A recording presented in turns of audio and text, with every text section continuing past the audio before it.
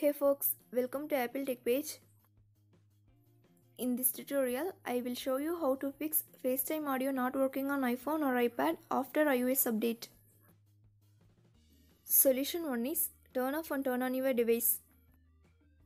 To do that, launch Settings app. Now scroll down the screen and tap on General. Next, tap on Shutdown at bottom of the screen. Then drag the slider power off slider to turn off. Wait for a minute and turn it on back by pressing the power button until you see the Apple logo. Solution 2 is Reset Network Settings. First, go to Settings app. Now tap on General. Then scroll down the screen to bottom and select Reset.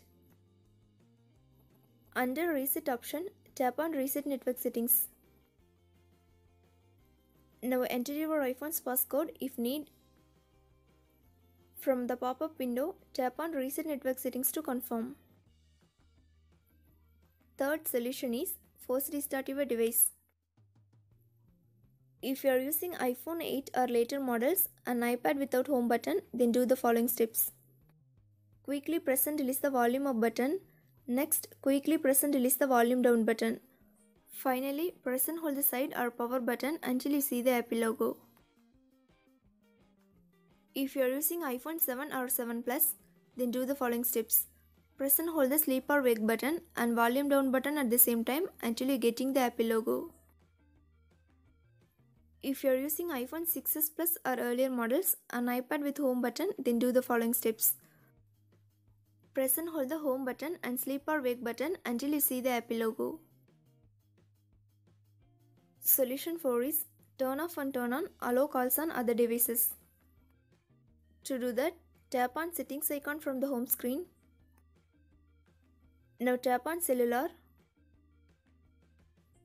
Scroll down the screen. Next, tap on calls on other devices under carrier. Now turn off calls on other devices. Wait for few seconds and turn it on back.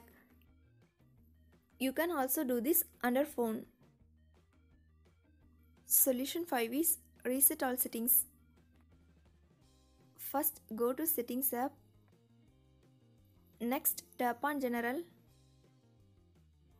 Now select reset at bottom of the screen. Then tap on reset all settings. Enter the passcode if you have set. Again tap on reset all settings to confirm. Solution 6 is sign out of iCloud and sign in again. First, launch Settings app on your iPhone. Next, tap on your name. Now tap on sign out at bottom of the screen. If you want to keep a copy of your iPhone, then turn on them. Then follow the instructions to sign out. Next, restart your device. After that, sign back into iCloud. Solution 7 is check for software update. First, connect your iPhone to stable Wi-Fi connection. Then open Settings app. Select General option. Then tap on Software Update. Next, tap on Download and install if update is available. Thanks for watching. For more videos, subscribe to Apple Tech page.